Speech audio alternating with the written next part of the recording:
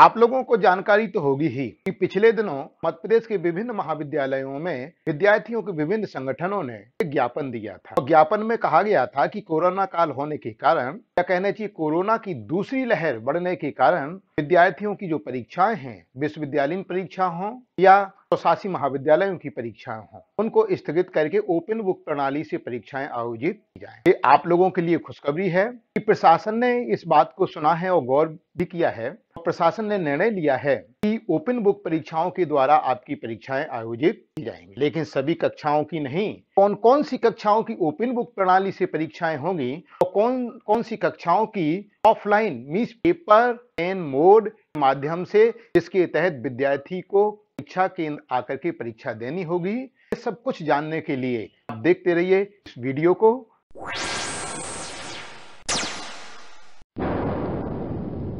दोस्तों, मैं हूँ डॉक्टर कुंज बिहारी आप देख रहे हैं यूट्यूब चैनल एट इंटेलेक्ट आप लोग जैसे जानते हैं कि मैं उच्च शिक्षा विभाग से संबंधित नई नई खबरें लेकर के विद्यार्थियों के लिए आता हूँ, ताकि विद्यार्थियों के मन में जो भी शंकाएँ हों, वो शंकाएँ दूर हो सके। आप लोग जानते हैं कि एक फरवरी 2021 का एक पत्र आया था, जिसमें कहा गया था कि कॉलेज में पढ़ने वाले सभी विद्यार्थियों की जो परीक्षा है, वो ऑफलाइन माध्यम से होंगी। मतलब पेन, पेपर मोड से होंगी और जिसके लिए विद्यार्थियों को परीक्षा केंद्र आकर के परीक्षा देनी थी। लेकिन अभी हाल ही में 27 मार्च को माननीय उच्च शिक्षा मंत्री श्री मोहन यादव जी ने एक संदेश दिया है और ये संदेश जनसंपर्क विभाग की सोशल मीडिया पर एक वीडियो के रूप में पड़ा है, जिसमें माननीय मंत्री महोदय ने स्पष्ट रूप से बताया है कि आप लोगों की परीक्षाएँ कैसे होंगे। इस वीडियो के तहत उन्होंने बताया है कि विद्यार्थियों की समस्याओं को देखते हुए और कोरोना काल को देखते हुए उन्होंने परीक्षाएँ के रूप में या तरीके में बहुत बदलाव किए हैं। ये सब जानकारी बताने के लिए मैं अपनी website ed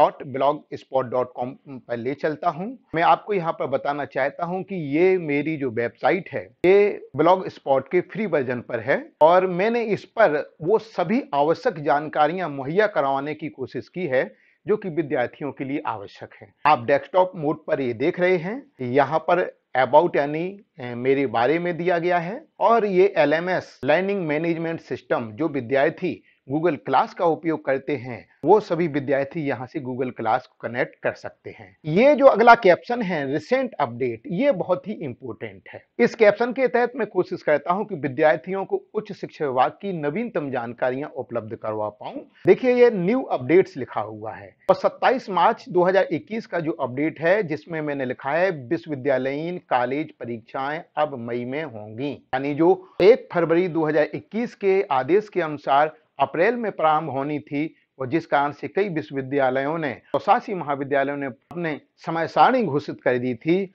अब वो परीक्षाएँ मई से प्रारंभ होंगी। स्नातक प्रथम एवं द्वितीय वर्ष तथा स्नातकोत्तर द्वितीय से, सेमेस्टर की परीक्षाएँ ओपन बुक प्रणाली से मई में होंगी। ओपन बुक प्रणाली आप लोगों को यदि याद हो तो पिछले वर्ष स्नातक, अंतिम वर्ष एवं स्नातकोत्तर चतुर्थ सेमेस्टर की परीक्षाएँ ओपन बुक प्रणाली से होंगी। उसकी एक प्रक्रिया है, इसके संबंध में अभी शासन के लिखित रूप में निर्देश प्राप्त नहीं हुए हैं। जैसे ही वो निर्देश प्राप्त होंगे कि किस प्रकार से आयोजित होंगी, मैं आप लोगों के सामने लेकर के आ जाऊँगा। तो जो स्नातक, प्रथम एवं द्वितीय वर्ष के विद्यार्थी हैं और स्नातकोत्तर द्वितीय सेमेस्टर के विद्यार्थी हैं, इनकी परीक्षाएँ ओपन बुक प्रणाली से होंगी। अर्थात आपको महाविद्यालय की वेब वेबसाइट यूनिवर्सिटी की वेबसाइट सोशल मीडिया के माध्यम से क्वेश्चन पेपर उपलब्ध करवाया जाएगा। आपको घर पर बैठ करके किताबों से देख करके उनके उत्तर लिखना है और उत्तर लिखने के बाद में आपको अपनी कॉपी समीप वाले संग्रहण केंद्र पर जमा करना है। ये संग्रहण केंद्र विश्वविद्यालय या स्वशासी महाविद्यालय द्वारा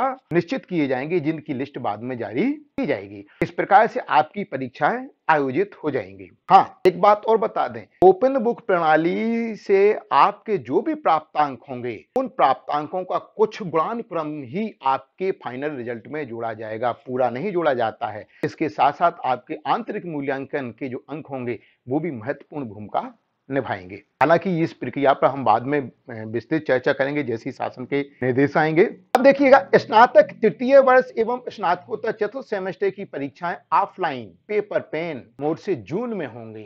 यानी ऐसे विद्यार्थी जो कि स्नातक अंतिम वर्ष बीए बीएससी बीकॉम या अन्य कोई क्लास हो, उसके तृतीय वर्ष या अंतिम वर्ष में अध्ययनरत हैं और स्नातकोत्तर चतुर्थ सेमेस्टर, चाहे M M S C M com चतुर्थ सेमेस्टर के विद्यार्थियों ऐसे विद्यार्थियों की परीक्षाएँ ऑफलाइन मोड से होंगी और उन्हें ऐसे विद्यार्थियों को परीक्षा केंद्र पर आकर के परीक्षा देनी होगी, जैसे कि परीक्षा परंपरागत ढंग से होती थी। यहाँ पर एक बात बता देना चाहता हूँ कि ये दोनों ही तरीके ऑफलाइन मोड के हैं। चाहे आपकी ओपन बुक परीक्षा प्रणाली हो, वो भी ऑफलाइन है, और चाहे विद्यार्थियों को, परीक्षार्थियों को परीक्षा केंद्र आकर के परीक्षा देना हो, वो भी ऑफलाइन है। हाँ दोनों के तरीके अलग अलग दिए गए हैं। ये महत्वपूर्ण जानकारी देखिए, मैंने इस कैप्शन में आपके लिए उपलब्ध करवाई है। ये निश्चित रूप से आप लोगों के लिए खुशखबरी हो सकती है। इसके तहत में विभिन्न जो अखबारों में प्रकाशित होने वाले समाचार होते हैं, उन्हें भी मुहैया करवाता हूँ। ट्विटर वगैरह या फेसबुक की जो जानकारी होती है, उन्हें भी मुहैया करवाता हूँ।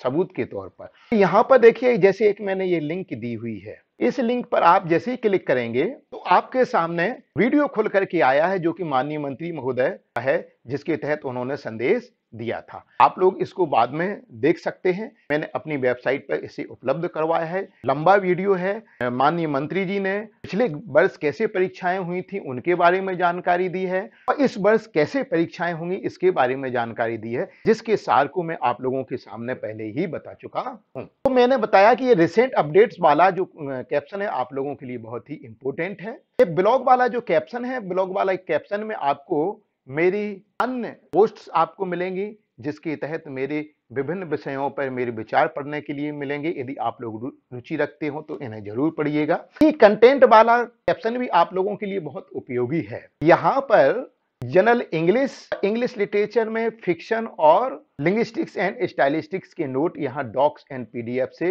विद्यार्थी डाउनलोड कर सकते हैं। यूट्यूब मतलब आप उस चैनल पर पहुँच जाएँगे, जिस चैनल को आप अभी देख रहे हैं एट इंटेलेक्ट पर पहुँच जाएँगे। यहाँ पर मेरे रिसर्च आर्टिकल हैं, जो भी विद्यार्थी या अन्य लोग रुचि रखते हो, वो ज़रूर पढ़ें। ये गैलरी का कैप्शन है, जहाँ पर जाकर के वो विभिन्न प्रकार की फ़ोटो वगैरह वो देख सकेंगे। यदि विद्यार्थियों के मन में कोई क्वेरी है, कोई प्रश्न है तो विद्यार्थी इस कॉन्टेक्ट वाले सेक्शन में जाकर के देखिएगा, यहाँ पर मेरा मोबाइल नंबर भी दिया है, ईमेल एड्रेस भी दिया है, कि आप इस कॉन्टेक्ट वाले फॉर्म को भर करके आप सेंड कर दीजिएगा। इससे आपकी जो समस्या है मेरे तक पहुँच जाएगी और मैं यथा संभव आपके जवाब को तुरंत ही प्रेषित करूँगा। तो ये वेबसाइट आप लोगों के लिए बहुत ही महत्वपूर्ण है इस होम पेज है। ये विभिन्न कैटेगरी है, जहाँ पर की कहना चाहिए, आपको सामग्री उपलब्ध होगी, जैसे स्टूडेंट सपोर्ट, यानी विद्यार्थियों के उपयोग हेतु जानकारियाँ, जनरल टेक गूगल मीट का उपयोग करना या विद्यार्थियों के संबंध में अन्य टीचर्स के लिए क्या क्या जनरल टैप हो सकती है, उसके संबंध में यहाँ पर आपको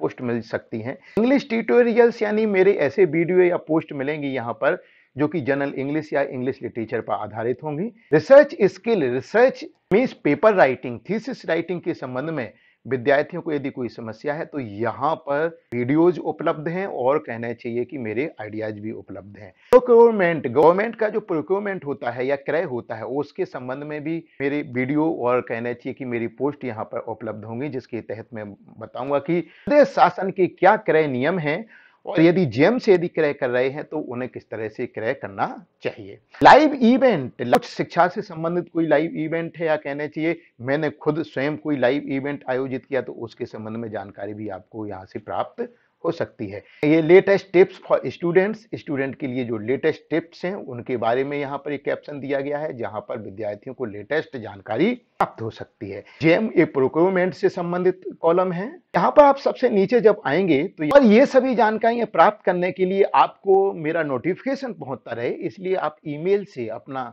जो भी ईमेल है, उससे सब्सक्राइब कर लें, ताकि जो भी विद्यार्थियों के लिए या शिक्षकों के लिए उपयोगी जानकारी है, वो आप तक पहुँच सके। यहाँ पर मैंने कुछ यूजफुल लिंक्स दिए हैं, जिनका उपयोग करके विद्यार्थी डायरेक्ट कुछ वेबसाइट्स को विज़िट कर सकते हैं। जैसे एमपी हायर एजुकेशन की वेबसाइट की लिंक है एम सी बी यू यहाँ पर छतरपुर का जो विश्वविद्यालय है, उसकी लिंक यहाँ पर दी गई है। प्रवेश एमपी ऑनलाइन ये प्रवेश के समय आपके लिए उपयोगी हो सकती है।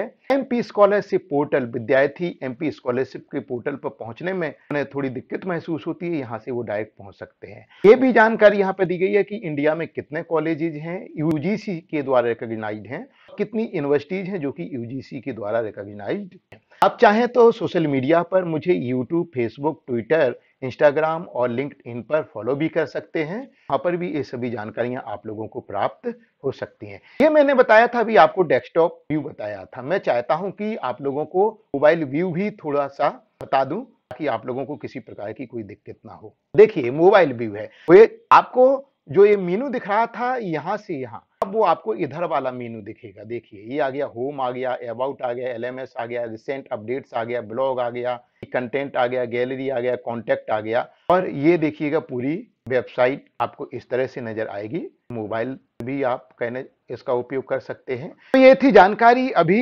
नई नई जो कि माननीय मंत्री महोदय के द्वारा दी गई है और जनसंपर्क विभाग के द्वारा सोशल मीडिया पर जारी की गई है क्योंकि जनसंपर्क विभाग मध्य प्रदेश शासन का विभाग है। इसलिए हम इसे ऑथेंटिक जानकारी मान सकते हैं। आप लोगों को ये वीडियो कैसा लगा है, यदि अच्छा लगा है तो इसको अधिक से अधिक शेयर करें ताकि अधिक से अधिक विद्यार्थी लाभान्वित हो सकें। और इस वीडियो अच्छा लगा है तो लाइक भी कीजिएगा। हाँ जिन विद्यार्थियों ने अभी तक मेरे चैनल को इंटेलेक्ट को सब्सक्राइब नहीं किया है तो सब्सक्राइब भी कर लीजिएगा ताकि मेरे नए वीडियोज़ का नोटिफिकेशन आप तक सबसे पहले पहुँच सके। एक बार और कहता हूँ यूट्यूब चैनल के अतिरिक्त विद्यार्थी मेरी इस वेबसाइट पर ज़रूर विज़िट करें क्योंकि यहाँ पर कुछ ऐसी खबरें होती हैं जिनके बारे में वीडियो नहीं बनाता हूँ। नवीनतम अपडेट्स के बारे में जानकारी के लिए आपको मेरी इस वेबसाइट पर विज़िट करना होगा। आपने अपना इतना अमूल्य समय दिया, इसके लिए आप लोगों का बहुत बहुत